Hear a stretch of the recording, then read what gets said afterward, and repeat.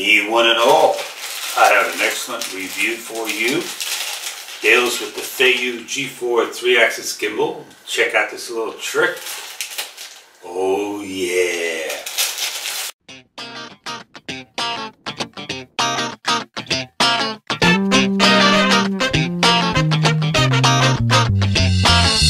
It's showtime! In here, you notice this is a pouch. Make sure there's nothing else in there. Oh yeah, just kidding. My hand can't go in there. Pouch is covered in a nice plastic bag. Again, uh, probably be a little harder to uh, do that trick for you. Yes, indeed, it is. And we'll open up this nice and strong bag.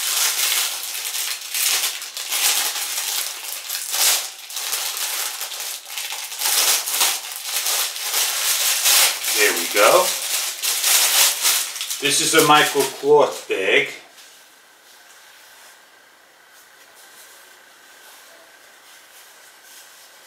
Two!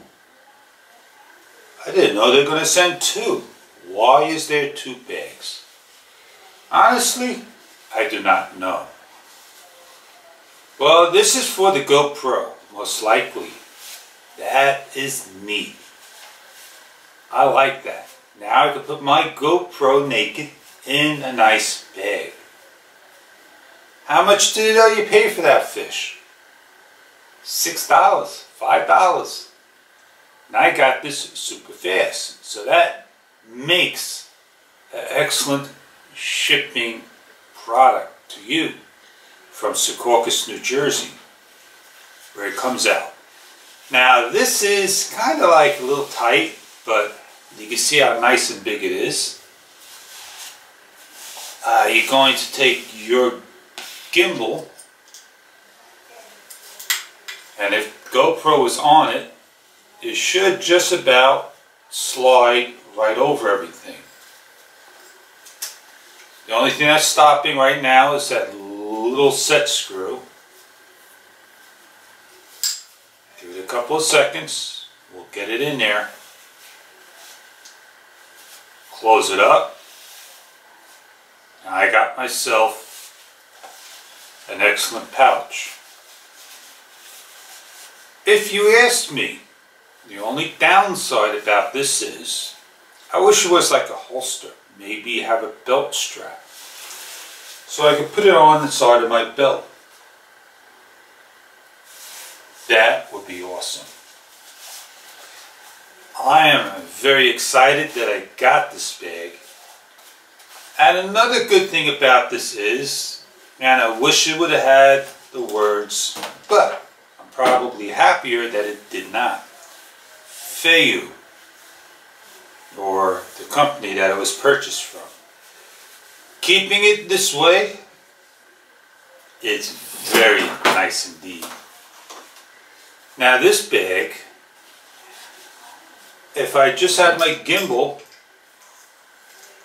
and my GoPro, I probably could just put this right over the GoPro that's on there and protect it.